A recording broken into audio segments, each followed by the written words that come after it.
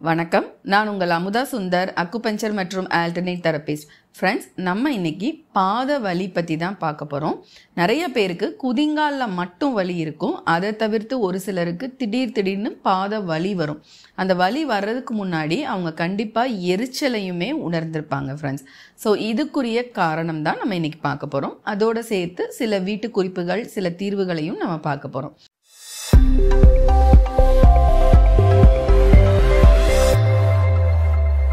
First பாத வலிக்கு காரணங்கள் என்ன அப்படின்னு நம்ம பார்க்கலாம். ஸோ இப்போது திடீர்னு பார்த்தோன்னா சுகர் இருக்குது மோஸ்ட்லி இப்போ காமனாக உள்ள ஒரு விஷயம் என்னென்னா பாத வலி எரிச்சல் அப்படின்னாலே உங்களுக்கு சுகர் இருக்கா அப்படின்னு கேட்குறது தான் நம்ம இன்றைக்கி நிறையா பார்த்துருக்கோம். ஆனால் கேட்கும்போது பேஷண்ட் சுகரே இல்லை ஆனால் எனக்கு பாத வலிக்குது பாத எரிச்சல் இருக்குது அப்படிங்கிறதையும் நம்ம பார்க்குறோம். அப்போது அவங்களுக்குலாம் என்ன பிரச்சனை? நம்பர் ஒன் ஏதாவது ஹார்மோன் இம்பேலன்ஸ் உங்கள் உடம்புல இருந்ததுன்னா கண்டிப்பாக அதுலேயும் குறிப்பாக மெனோபாஸில் இருக்கும்போதும் இந்த தைராய்டு டிஸ்ஃபங்க்ஷன் இருக்கிறவங்களுக்கும் பாத வழிகள் வந்து அடிக்கடி வர்றதை நம்ம பார்க்கலாம். திடீர்னு வரும் அதுக்கப்புறம் கொஞ்ச நாள் இருக்காது. அதுக்கு அடுத்து வெயிட் திடீர்னு ஒருத்தவங்க வந்து மோஸ்ட்லி லேடிஸ் பொறுத்த வரைக்கும் ஒரு கொஞ்சம் வெயிட் ஒரு ஒரு கிலோ ரெண்டு கிலோ ஏறினாலே அந்த அவங்களுக்கு அந்த பாத வலி வர்றதை நம்மளால் பார்க்க முடியும். இதுக்கப்புறமா இப்போ டெக்னிக்கலாக பார்க்கணும் அப்படின்னா ரெண்டு பிரச்சனைகள் சொல்கிறாங்க ஒன்று வந்து கால்சியம் ஸ்பர் குருத்தெலும்பு வந்து கீழே வந்து வளர்ந்துருச்சு அப்படின்னு சொல்லி அந்த கீழே கணுக்காலில் வந்து எலும்பு வளர்ந்துருச்சுன்னு சொல்கிறாங்க ஃப்ரெண்ட்ஸ் பட் நம்ம இந்த இடத்துல ஒன்று தெரிஞ்சுக்கணும். அந்த எலும்பு வளர்றது இது கிடையாது. உங்கள் உடம்பில் பிஹெச் பேலன்ஸ் அசிடிட்டி வந்து அதிகம் ஆகும் போகுது. கால்சியம் வந்து பாடியிலேருந்து வெளியேற்றும். வெளியேற்ற விஷயங்கள் வந்து நடக்கும். அந்த வெளியேற்றமே யாருக்குன்னா இம்யூனிட்டி நல்லா இருந்து கிட்னி ஃபங்க்ஷன்ஸும் ரொம்ப நல்லா இருக்கணும் கிட்னி ரொம்ப ஓவர்லோட் ஆகாமல் இருந்ததுன்னா அந்த எக்ஸ்கிரீஷன்ஸ் வந்து வெளியேற்றம் வந்து ஈஸியாக நடந்து கால்சியம் வந்து வெளியே போக ஆரம்பிக்கும். ஏன்னா அவங்க உடம்புல அசிடிட்டி அதிகமாகுது. இதெல்லாம் இன்றைக்கி ரிசர்ச்லே ப்ரூவ் பண்ணியிருக்காங்க. பட் அப்படி வெளியே போக வேண்டிய அந்த ஆக்சுவலி போகக்கூடாது பட் இருந்தாலும் அசிடிட்டி அதிகமாகும் போது கால்சியம் வெளியே போகுது அப்படின்னா போகிறதுக்குரிய இம்யூனிட்டி ஒரு வயசு வரும்போது அவங்களுக்கு இல்லை அப்படின்னா அந்த விஷயங்கள் அந்த கால்சியம் டெபாசிட் வந்து கீழே குதிங்காலில் போய் சேர ஆரம்பிச்சிடும் அது பேர் தான் கால்சியம் ஸ்பர் அதுதான் சொல்கிறது அதை பொதுவாக ஜென்ரலாக என்ன வேர்டு யூஸ் பண்ணுறாங்கன்னா அந்த குருத்தெலும்பு வந்து வளர்ந்துருச்சு அப்படின்னு சொல்லி சொல்கிறாங்க இதுக்கப்புறமா இன்னொன்று நமக்கு நம்மளோட பாதத்தில் பிளான்டார் ஃபெசிட்டிஸ்னு ஒரு டிஷ்யூ இருக்குது ஒரு திசுக்கள் இருக்குது அந்த திசு வந்து இன்ஃபெக்ஷன் ஆகிறதோ இல்லை வந்து வீக்கங்கள் ஆகிறதோ இதனாலையும் இந்த வலி வந்து ஏற்படலாம். அந்த திசுக்கள் வீக்கம் எதனால வருது அப்படின்னா அகெயின் இதே தான் நம்ம உணவுகள் வந்து ரொம்ப ஆசிட் வேஸ்ட்டை க்ரியேட் பண்ணுற உணவுகள் நம்ம எடுக்கும்போது நம்ம உடம்புல பிஹெச் பேலன்ஸ் மாறுறதுனால நம்மளுக்கு வந்து அந்த திசுக்கள் பாதிப்படையுது. இல்லை நம்ம கார்போஹைட்ரேட் நிறையா எடுத்து குளுக்கோஸ் அதிகமாக வெளியேறுது. ஸோ வெளியேற முடியாமல் நம்மளுக்கு இம்யூனிட்டி இல்லை கிட்னி ஓவர்லோட் ஆகுதுன்ற பட்சத்துலையும் இந்த குதிங்காலில் போய் அந்த திசுக்களில் வந்து அது வந்து இன்ஃப்ளேம் ஆக்குது. வீக்கங்களை உருவாக்குது. அதனாலையும் இந்த வழி வருது. ஸோ அகெயின் பார்த்தீங்கன்னா இது எல்லாமே நம்மளோட உணவுகள் சம்மந்தப்பட்டும் இந்த குதிங்கால் வலி திடீர்னு வர்றதுக்கு உணவுகள் சம்மந்தப்பட்ட காரணங்களும் இருக்குது அக்குபஞ்சர் விதிப்படி பார்த்தீங்க அப்படின்னா நான் வந்து ஒரு சார்ட் உங்களுக்கு கொடுக்குறேன். ஃபுட் ரிஃப்ளெக்ஸலாஜி சார்ட்னு இருக்குது நம்மளோட ஒவ்வொரு ஆர்கனுமே நம்மளோட உள்ளங்காலில் வந்து பிரதிபலிக்குது. ஸோ நீங்கள் பாருங்கள் அந்த சார்ட்டையும் நீங்கள் செக் பண்ணி பார்த்தீங்கன்னா ஒரு சில அந்த கரெக்டாக ஒரு இடத்துல மட்டும் சிலருக்கு வந்து பாதத்தில் ஏதாவது ஒரு இடத்துல மட்டும் வலி இருக்கும். அதை நான் கொடுக்குற சார்ட்டோட நீங்கள் வந்து செட் பண்ணி பார்த்தீங்கன்னா எந்த உறுப்போட இம்பேலன்ஸ் அப்படி அந்த இடத்துல வலியை உண்டாக்குதுங்கிறத நீங்கள் கவனிச்சுக்கலாம். ஸோ அந்த உறுப்புகளை பேலன்ஸ் பண்ணுறதுக்குரிய டயட்டோ இல்லை அதுக்கேற்ற ஒரு எக்ஸசைஸோ நீங்கள் வந்து பண்ணுற மாதிரி இருக்கும். இன்னொன்று அந்த பாதை அந்த எங்கே வலிக்குதோ அதை வந்து அழுத்தமாக சிகிச்சை கொடுத்து நீங்களே ஒரு மசாஜ் கொடுக்கறது மூலமாக கூட அந்த வலி வந்து உங்களுக்கு சரியாகும். இந்த காரணங்கள் தவிர்த்து சாதாரணமாக எக்ஸ்டர்னலாக சில காரணங்கள் இருக்குது அது என்னன்னா ஒரு சிலருக்கு பார்த்தீங்கன்னா இயற்கையாகவே அவங்களோட பாதங்கள் வந்து ஒரு ஆர்ச் இல்லாமல் ஃப்ளாட்டாக இருக்கும். அது வந்து அவங்களோட நேச்சராகவே ஹெரிடிட்டியாக கூட இருக்கும் சிலருக்கு. அவங்க அப்பாவுக்கு இருந்ததுன்னா அந்த குழந்தைங்களுக்கு அப்படி தான் இருக்கும் ஸோ ஃப்ளாட்டாக பாதங்கள் இருக்கும்போது இந்த மாதிரியான பிரச்சனைகள் இந்த குதிங்கால் வலி பாத வலி இது எல்லாமே வந்து அவங்களுக்கு வர ஆரம்பிக்கும். இன்னொன்று தப்பான ஒரு செருப்பு. நீங்கள் கரெக்டான ஒரு செருப்பை அணியலை. உங்களோட இப்போ வந்து அந்த உங்களுக்கு அந்த ஆர்ச் இல்லை அப்படின்னா அதுக்கேற்ற மாதிரி போடணும். இல்லை ஆர்ச் பெருசாக இருக்குன்னா அதுக்கேற்ற மாதிரி நல்லா இப்போ ஆர்ச் வந்து ரொம்ப வளைவாக இருக்குன்னா நீங்கள் குஷன் உள்ளே நிறைய இருந்தால் தான் உங்கள் ஆர்ச் போய் அதில் சீட் ஆகும். ஏன்னா ஒரு சிலருக்கு பெரிய ஆர்ச்சாக இருக்கும் செப்பல் ரொம்ப ஃப்ளாட்டாக இருக்கும். அப்போ நடுவில் அந்த கேப் இருக்கும் உங்களுக்கு.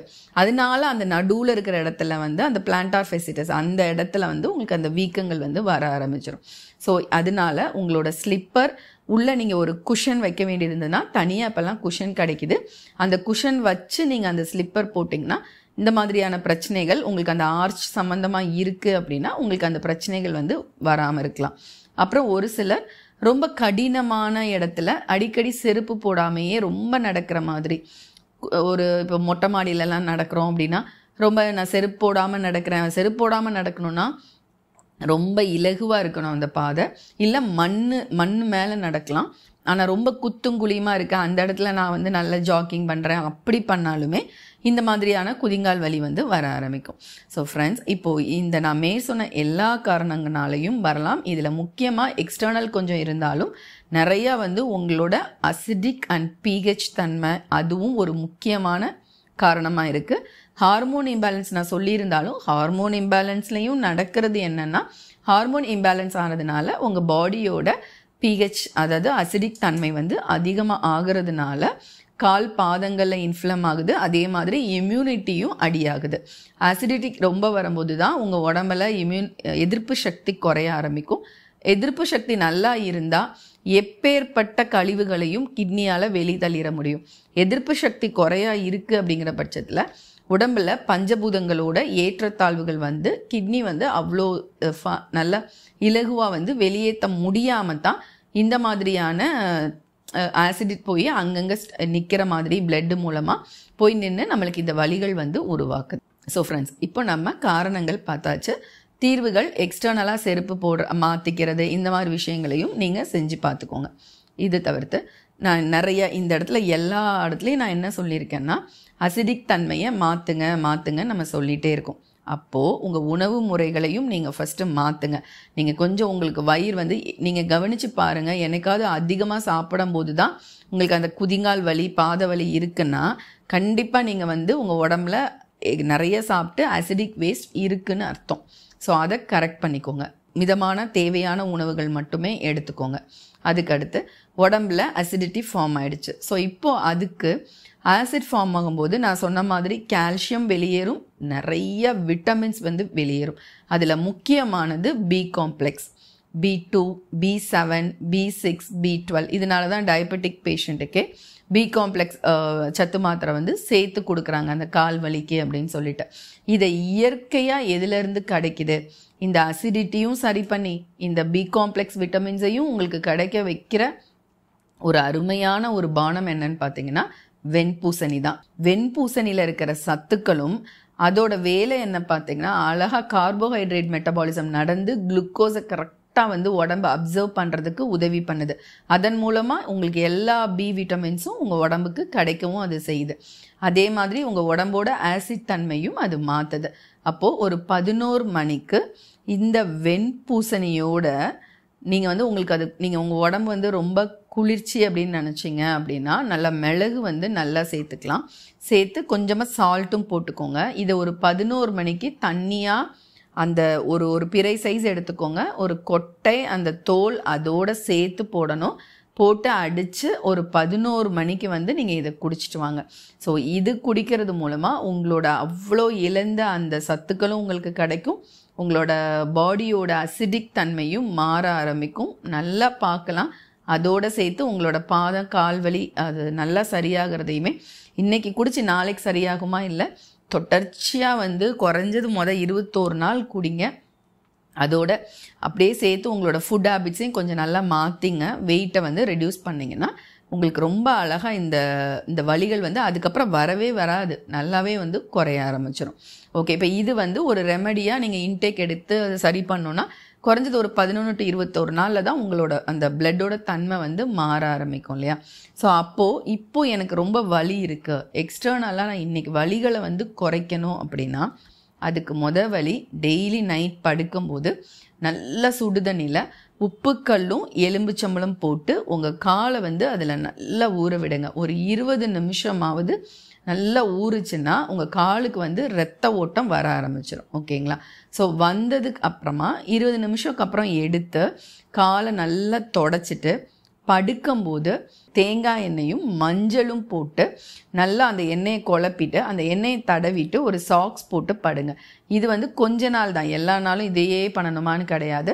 கொஞ்சம் உங்கள் காலுக்கு வந்து அந்த ரத்த ஓட்டம் நல்லா கிடைக்கிறதுக்காகவும் அந்த இன்ஃபெக்ஷன் இன்ஃப்ளமேஷன்ஸ் ஆறுறதுக்காகவும் அந்த மஞ்சளை வந்து நம்ம சேர்த்து போடுறோம். மஞ்சளாக போட்டால் ஒரு மாதிரி இருக்குன்னா நீங்கள் மஞ்சள் எசென்ஷியல் ஆயிலே கிடைக்குது. அதை தேங்காய் எண்ணெயோட ஒரு ரெண்டு சொட்டு கலந்தும் நீங்கள் வந்து உங்கள் காலில் வந்து தடவிட்டு வரலாம். அந்த உப்புமே வந்து உங்களுக்கு நல்லா நல்லா பிளட் சர்க்குலேஷன் கொடுக்கும். அந்த தண்ணியில் வச்சு பண்ணுறதுக்கு ஸோ ஒன்று உங்களுக்கு இது மாதிரி சோக் பண்ண முடியல அப்படின்னா ஒரு உப்பு கல் வந்து நல்லா சூடில் வறுத்துட்டு நீங்கள் அதை ஒத்தனை மாதிரி ஒரு மூட்டையில் கெட்டி ஒத்தனை மாதிரியும் நீங்கள் அதை காலில் கொடுக்கலாம். ஸோ நம்மளோட கான்செப்ட் என்னென்னா கொஞ்சம் அதில் சூடு கொடுத்து அந்த உப்பு உப்பு தான் நல்லா வந்து உங்களுக்கு அந்த ஹீட்டை இது பண்ணும்.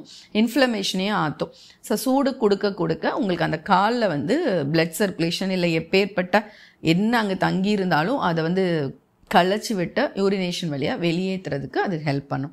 ஸோ அதனால் கான்செப்ட் வந்து ஒரு நல்ல சூடு ஒத்தனமோ ஏதோ அந்த மாதிரி வந்து நம்ம கொடுக்க வேண்டியது இருக்கும். ஸோ அதை நீங்கள் எடுத்துக்கோங்க. நான் சொன்னது மாதிரி எக்ஸ்டர்னலாகவும் நீங்கள் அப்ளை பண்ணுங்கள் ஓகே இது தவிர ஒரு முத்திரை. இதை நீங்கள் வந்து ஒரு சேலஞ்சாக எடுத்துக்கோங்க. உங்களுக்கு கால் பாதை வலிக்கிறப்போ இது வந்து ஆக்சுவலி பார்த்தீங்கன்னா அப்போது எக்ஸ்டர்னலாக இதை நம்ம சரி பண்ணிட்டு இருக்கோம். பட் முத்திரைகள் வந்து பண்ண பண்ண இன்டர்னலாகவும் உங்களோட அதோட ரீசனான பஞ்ச பூதங்களை சரி பண்ணும்போது உங்களுக்கு உள்ள பிரச்சனைகளும் தீரும். அந்த விதத்தில் இந்த இதுக்கு அழகாக யூஸ் பண்ணுற ஒரு முத்திரை வந்து நம்மளோட சங்கல்ப முத்திரை. இப்போது இந்த பெருவிரலோட இந்த எல்லா நுனியும் சேர்த்து இப்படி சேர்த்து வச்சுக்கோங்க. இப்படி கையில் இப்படி உங்களோட தொடை மேலே வச்சுக்கோங்க. உங்களுக்கு வலி இருக்கிறப்போ படுத்துட்டு ஒரு பத்து நிமிஷம் இந்த முத்திரை பண்ணுங்க. உங்களால் காலில் அப்படி பிளட் சர்க்குலேட் ஆகிறத பார்க்க முடியும். பத்து நிமிஷம் நீங்கள் எந்திரிக்கும் போது அப்போ வந்து கண்டிப்பாக உங்களுக்கு வலி குறையும். இது வந்து நானே செல்ஃபாக எக்ஸ்பீரியன்ஸ் நிறைய இடத்துல எனக்குமே நான் பண்ணி ரிசல்ட் பார்த்த ஒரு விஷயம்தான். இதை நீங்கள் செஞ்சு பாருங்கள் இந்த முத்திரை செய்கிறது மூலமாக ஐம்பூதங்களை சமன்படுத்தி உங்கள் உடம்ப வந்து பேலன்ஸ் பண்ணுறதுனால அந்த வழிகளையும் உங்கள் இன்டர்னல் விஷயங்களையும் நம்ம சரி பண்ணுறோம் ஃப்ரெண்ட்ஸ் ஓகே இது தவிர்த்து நான் வந்து இப்போ ஒரு போர்டு காமிக்கிறேன். நீங்கள் லேடிஸாக இருந்தீங்கன்னா அப்படின்னா மோஸ்ட்லி லேடிஸ்க்கு தான் இந்த பிரச்சனை வருது. ஸோ நீங்கள் சமைச்சிட்டு இருக்கும்போது ரொம்ப நேரம் உங்களால் அப்படியே நிற்க முடியாது. அப்படி நிற்கும் போது தான் அந்த குதிங்கால் வலியும் உங்களுக்கு இன்னும் கொஞ்சம் அதிகமாக இருக்கும். அப்போ வந்து சொல்லுவாங்க சாஃப்டான குஷன் செப்பல் போடுங்கன்னு. ஒன்றே ஒன்று தான் அந்த நம்மளோட அந்த குருத்தெலும்பு வளருதுன்னு சொல்கிறாங்க இல்லையா? அந்த ஒரு விஷயத்துக்கு மட்டும் வந்து நீங்கள் அந்த மாதிரி ஸ்லிப்பர் போட்டு நின்றுக்கலாம் மித்த சாதாரணமாக எனக்கு அந்த மாதிரி எந்த பிரச்சனையுமே இல்லை. ஆனால் எனக்கு பாத வலி இருந்துகிட்டே இருக்குது அப்படின்னா நான் சொன்ன மாதிரி ஃபுட் ரிஃப்ளெக்ஸாலஜி நான் சார்ட் கொடுத்துருக்கேன். ஸோ அதை பேலன்ஸ் பண்ணுறதுக்கு தினம் போய் நம்மளால் மசாஜ் எடுக்க முடியாது இல்லையா? அதுக்கு நான் காமிக்கிற இந்த ஒரு போர்டை நான் அதோட லிங்க்கும் கீழே கொடுக்குறேன். அது எனக்கு அவ்வளோ அருமையாக அது யூஸ் ஆகுது. நீங்கள் சமைக்கும் போது அந்த போர்டை போட்டுட்டு அது மேலே நின்று நீங்கள் சமைச்சு பாருங்களேன். உங்களுக்கு அந்த வலி தெரியாது. அதுக்கப்புறம் அன்றைக்கி அந்த வலியே வராமையுமே இருக்கும்.